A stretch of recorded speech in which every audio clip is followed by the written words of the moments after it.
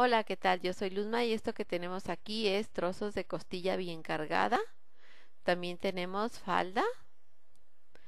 Y tenemos unas rebanadas de hueso con todo y médula, que por acá les llamamos tuetanitos.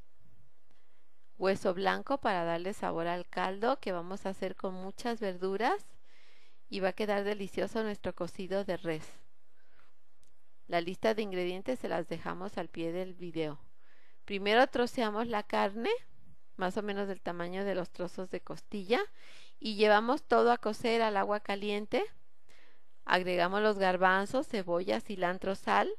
Tapamos, presurizamos y vamos a cocer durante 35 minutos. Mientras limpiamos y, y troceamos las verduras, quitamos las hojas de nuestro elote, le hacemos como un twist para que afloje todos los pelitos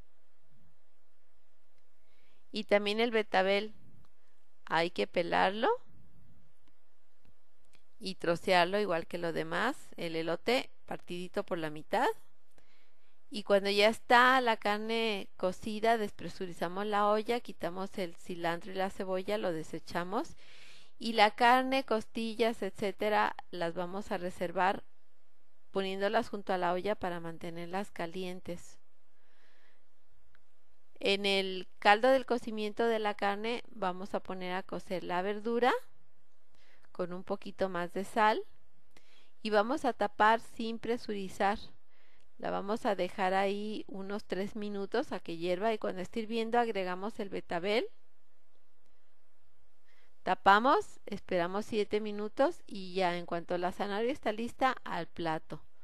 Acá servimos un pedazo de cada una de las verduras desde luego a gusto de cada comensal, garbancitos, un pedazo de costilla, la carne más caldito, vean qué lindo color le queda.